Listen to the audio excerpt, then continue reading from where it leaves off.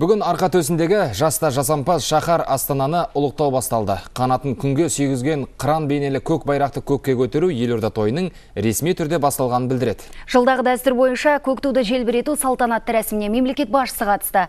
Елбасы еліміздегі жоғарғы әскери оқу орындарын үздік бітірген түлектерге лейтенант шенін тапсырды. Азат қазақ ардақтаған әш шахар Астананы ұлықтаудың терең мәні бар. Елдің басты ордасы, мемлекеттің айнасы. Оның сәні мен сәулетінің келісті болуы өз алдына. Шахар өмірінің терең рухани мазмұн алуы, қаланы шар тараптың тануы, тамсануы, сол арқылы жер иесін тануға талпынуы.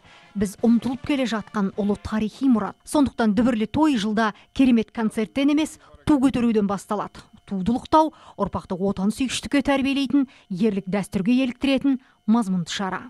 Қазақ елінің аспан түстес көк байрағында алтын күммен астасқан алып қыран қанат керген осынау терең мағыналы нышанда кешегі тарихымыз бен бүгінгі биігіміз ертеңгі ерен істеріміз түгел тоғысқан. Халқымыз үшін көгіне көтерілген байрақтың қасиетті нышан болмаған. Ел шетіне жау келсе біздің батыр бабаларымыз осы байрақтың түбінен табылған. Көк байрақты дәріптеу тарихпен тамырлас игі дәстүр.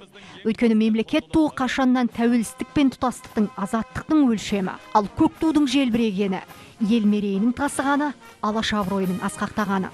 Бүгін егемен елдің ұландары жоғарғы әскери оқу орындарын үздік бітірген түлектерге елбасы ерекше құрмет көрсетті. Өте қуанышты сәт болды. Өзім толқып қалдым шыны керек. Маған біз осы қазақстан республикасына қызмет ет аман бол деп жаңағыдай жылы жылы сөздер айтып жатыр. Өте қуанышты болып қалдым шыны керек. Оны сөзбен айтып жеткізу өте қиын. Нұрсұлтанның нұрсұлтанға аманаты. Мемлекет басшысы әскери академия түлегіне лейтенант шенін тапсырып жатыр. Аман сау табысты аттас бозбала осындай құрметке ие болу үшін бес жыл көз майын тауысып білім алды. Оқу жаттығуларда мүдірмеді.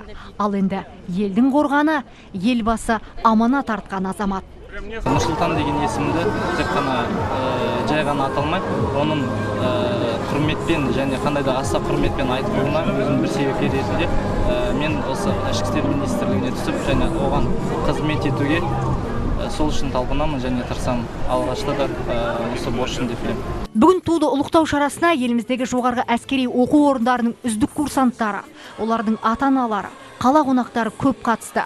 Шарадан әр буынның өз түйгені бар. Ал мынау бүлдіршіннің бір үзік ойы мен осылардай болам. Жайнагүл төлеміс замир убайдай дархан әлібек қазақстан ұлттық телеарнасы.